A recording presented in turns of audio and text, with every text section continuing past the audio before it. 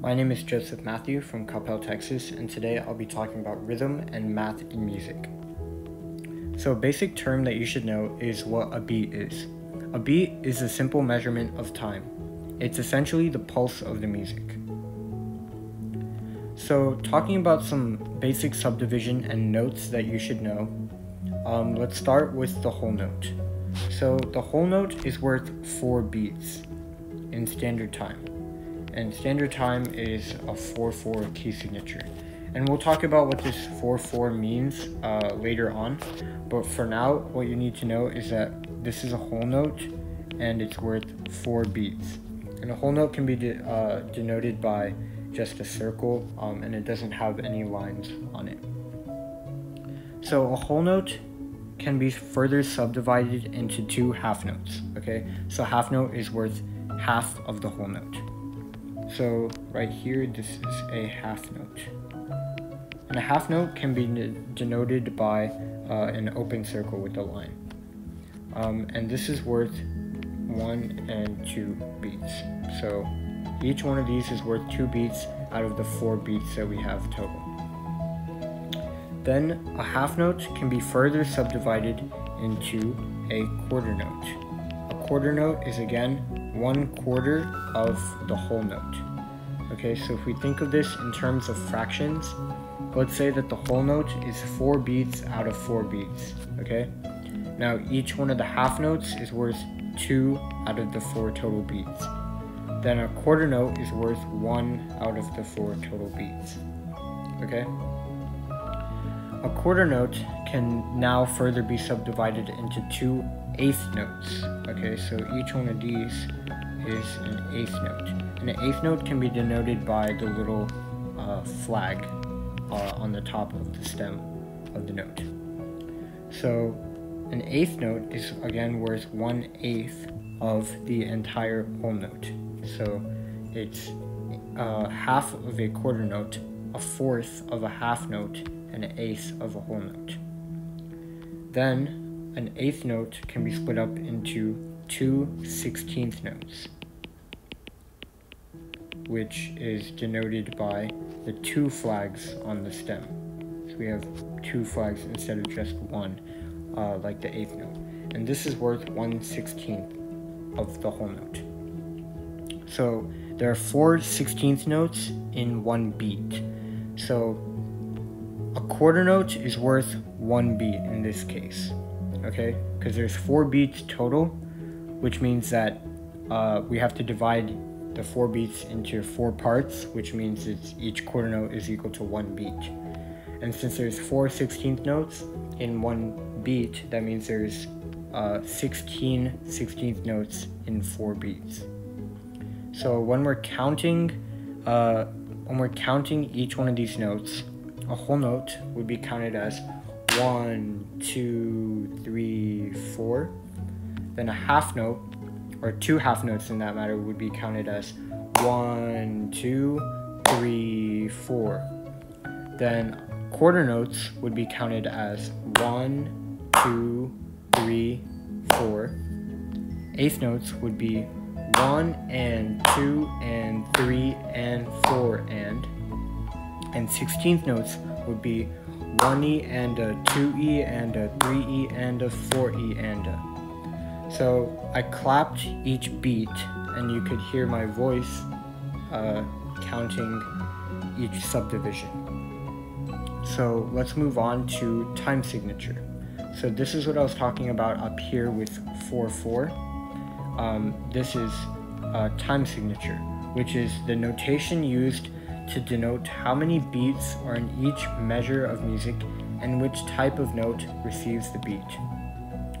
So when I say one measure of music, uh, this is what I mean. So each uh, bar of music is, each one of these lines denotes a different uh, measure or a different bar.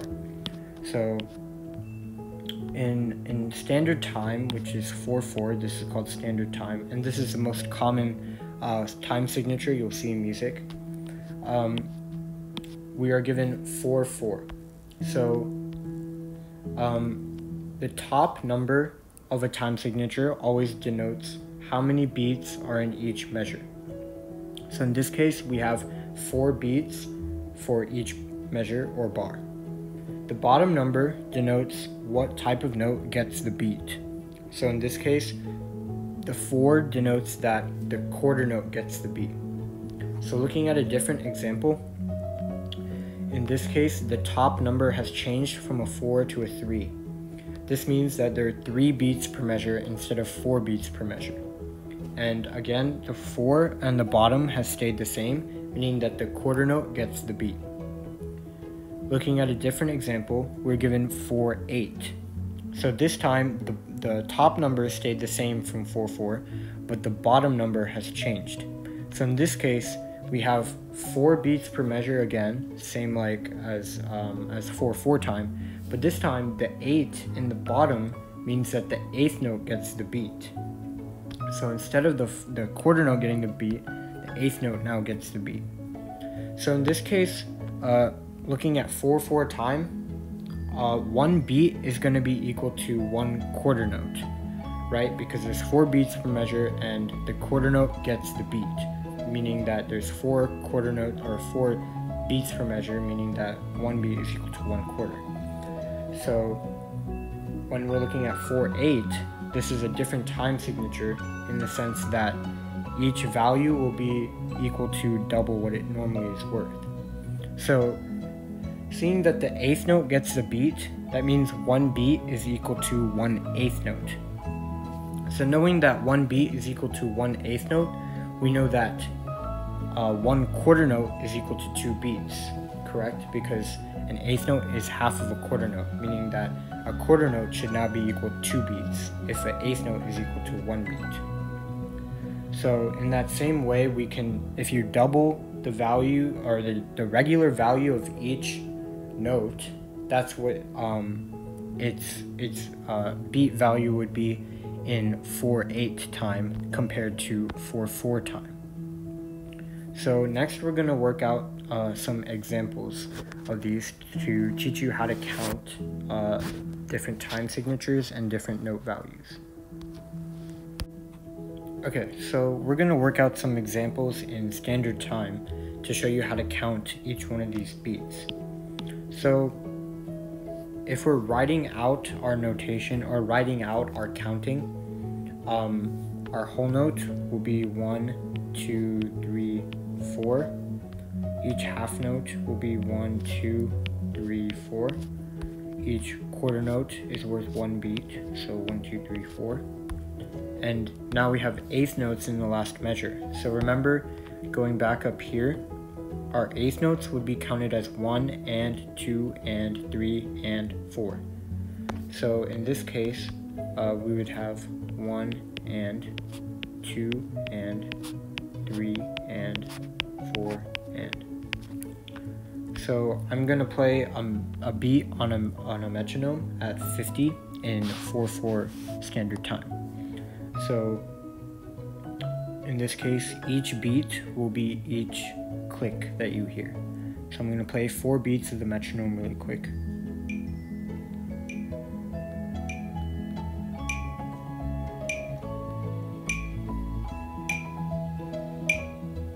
So those that was eight beats on the metronome, but each one of those clicks will be worth one beat for our purposes. So I'm going to go ahead and count uh, how this would sound, and I'm going to clap the rhythm. So one important distinction is beat versus rhythm.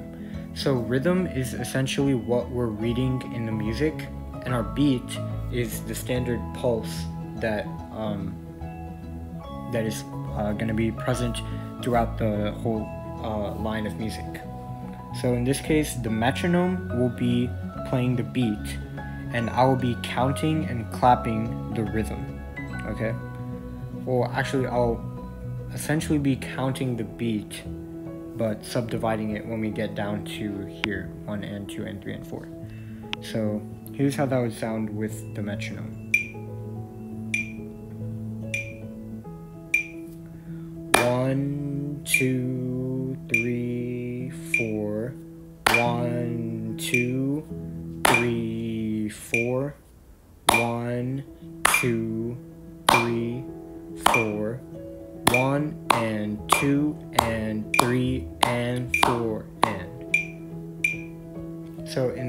you could hear that each time I clapped, it was a new note. So since it was just one whole note in this line or in this bar, I only clapped once. And since there were two half notes, I clapped two times. Four quarter notes, I clapped four times. Eight eighth notes, I clapped eight times. So as you could see, um, when counting the eighth notes, we said one and two and three and four. And in the same way, in the next example, we'll have 16th notes.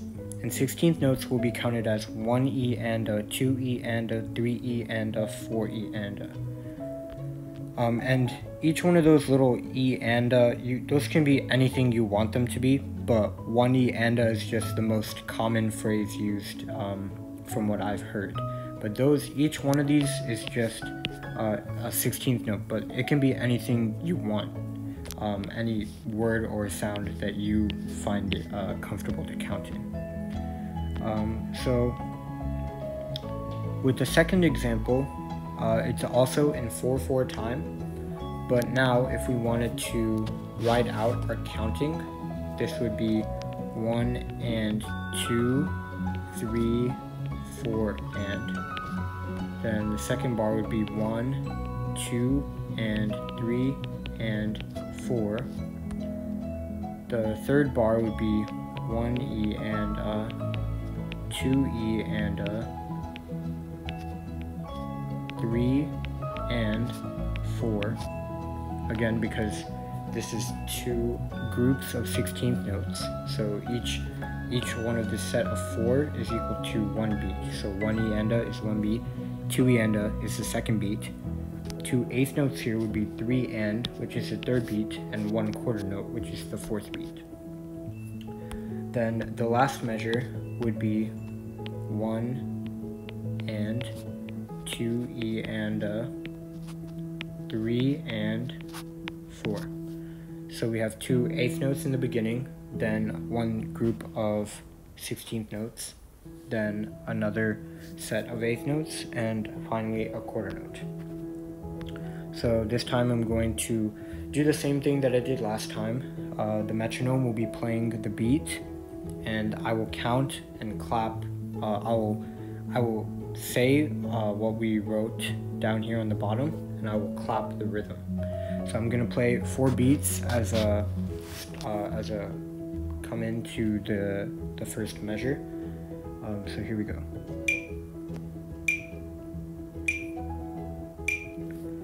One and two, three, four, and one, two, and three, and four one E and a two E and a three and four, one and two E and a three and four. So in that uh, in that case, you could hear that I again clapped uh, the rhythm, which was each note that we saw, and I counted uh, the counting. And remember that for 16th notes, the common way is one E and a, and for 8th notes is one and. So that's reading in 4-4 time. Next, we're going to do an example in 4-8 time to see how that changes our rhythms and how it changes our counting.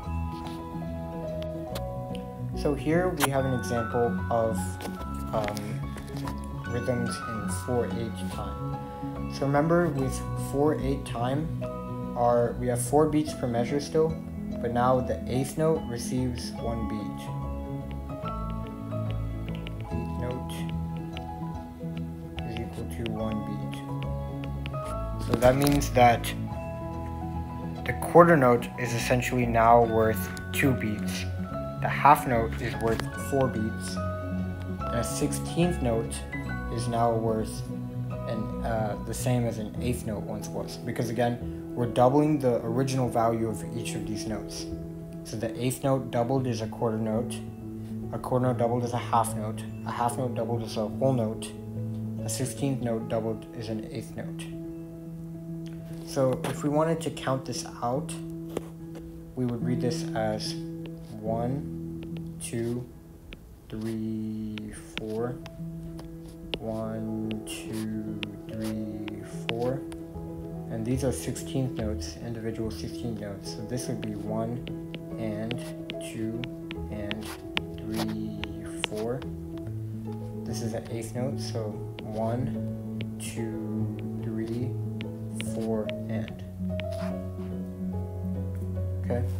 so that's how we would count this out. Now I'm going to do the same thing that I did earlier and play a metronome. Uh, it'll be the same tempo as before. I'm going to say what we wrote down out loud and clap the rhythm. Uh, and I'll also have four beats uh, before I come in.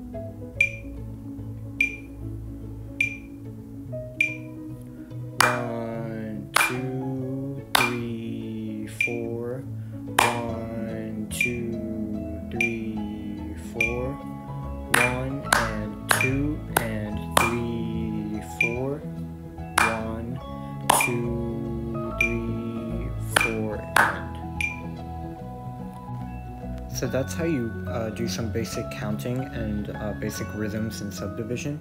I hope you learned something new today. Thank you.